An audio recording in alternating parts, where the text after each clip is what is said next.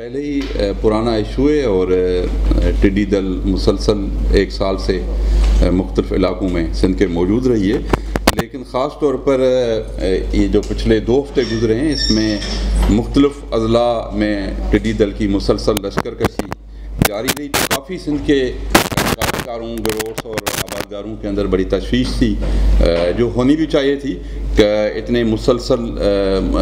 सवाब मुख्तलिफ़ इलाकों की तरफ़ से सिंध की क्रॉप एरिया और उनका जो अटैक था यलगार थी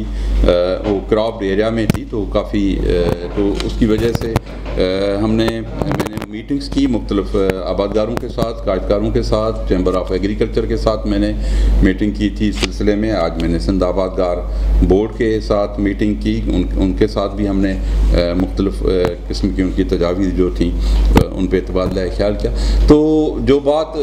आज हम कहना चाहते हैं वो मुसलसल आपको पता है कि सिंध गवर्नमेंट हर मुमकिन कोशिश कर रही है कि किसी भी तरीके से इस इशू को ये जैसा कि आपको पता है कि ये बहुत बड़ा इशू है और मैं समझता हूँ और ये कंसीडर्ड ओपिनियन है सिंध गवर्नमेंट का कि और नहीं, फ़कत सिंध का नहीं, लेकिन और भी जो सूबे हैं, जो मुख्तलिफ़ इजलासात, इजलास हुए हैं, उसमें मैंने जो देखा है कि सिंध पंजाब ने भी और बलूचिस्तान ने भी बड़ी तशवीश का इजहार किया है कि ये जो इशू है, ये मामला है, ये बिल्कुल इतना सादा और आसान नहीं है, ये बहुत बड़े पैमाने पर है और ये एक तरह से कोविड 19 के बाद मैं समझता हूँ कि एग्रीकल्चर के लिए ये सबसे बड़ा ख़तरा है और इसकी आगाही जो है, वो मुसलसल इंटरनेशनल जो इदारे हैं फ़ूड एंड एग्रीकल्चर ऑर्गेनाइजेशन और जो दूसरे इदारे जो लोकस्ट को इंटरनेशनली मॉनिटर करते हैं, उन्होंने भी इस सिलसिले में वार्निंग्स दी हुई हैं कि पाकिस्तान और उसके जो नेबरिंग कंट्रीज़ हैं, उसमें इस साल लोकस्ट का टिड्डी दल का दस मरतबा ज़्यादा, यानी दस मरतबा टेन टाइम्स मोर जो होगा, वो हमला होगा और टेन टाइम्स मोर उसके तादाद पॉपुलेशन होगी, जो कि बहुत ही बड़ी ख़तरे की अलामत है। इस वक्त भी जैसा कि आपको पता है, हम पहले भी कोशिश करते रहे कि इसको जो डेजर्ट एरिया है, हम इस वक्त भी कर रहे हैं। पिछले साल भी डेजर्ट एरिया में और हमने प्लांट प्रोटेक्शन डिपार्टमेंट ने बड़ी कोशिश की और हम बड़े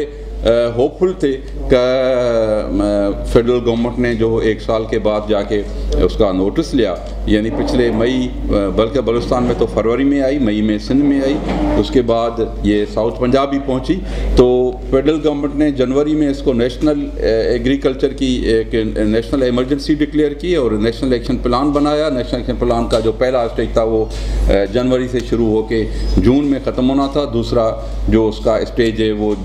जुलाई से दिसंबर है। और तीसरा स्टेज, जो थर्ड स्टेज है, उसका वो जून सॉरी जनवरी इक्कीस से जून 21 तक है। तो अब उसमें जो पहला स्टेज है, वो ऑलमोस्ट तकरीबन आने वाला माह जो है, वो जून है। लेकिन प्रैक्टिकली हम अभी भी वहीं खड़े हैं, जहाँ हम एक साल पहले खड़े थे। इस साल जो पाकिस्तान के अंदर एक कोई तीन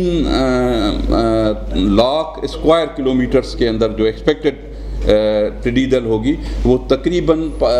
जो सर्वे है फ़ूड एंड एग्रीकल्चर ऑर्गेनाइजेशन की, या दूसरे इंटरनेशनल इदारों की, उन्होंने जो आगाही दी है कि तीन लाख स्क्वायर किलोमीटर्स की एरिया होगी पाकिस्तान के अंदर जिसमें लोग टिडी दल होगी और उसके हमले होंगे और उसकी ब्रीडिंग होगी या कहीं बाहर से माइग्रेट करे, करके भी आएगी। तो अब इतनी बड़ी एरिया है जिसमें पचास फ़ीसद बलूचिस्तान है, पैंतीस फ़ीसद सिंध है, पंद्रह फ़ीसद जो है वो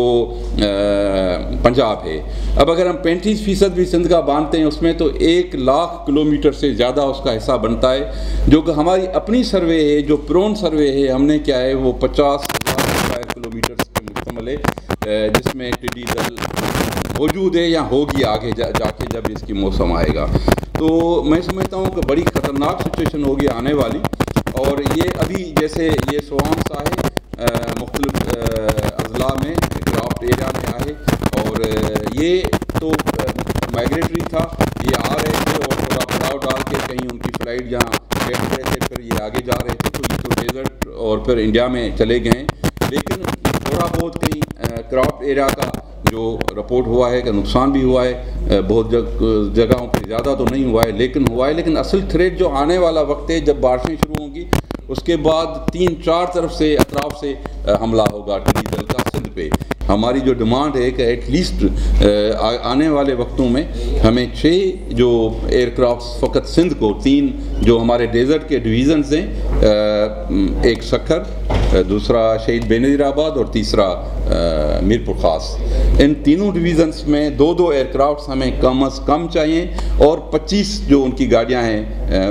फोर व्हील गाड़ियाँ होती हैं जो माउंटेड स्प्रे उन पर व्हीकल माउंटेड स्प्रे उन पर लगे हुए होते हैं। तो वो भी हमें चाहिए जो इस वक्त हमें फ़कत पाँच दी गई हैं।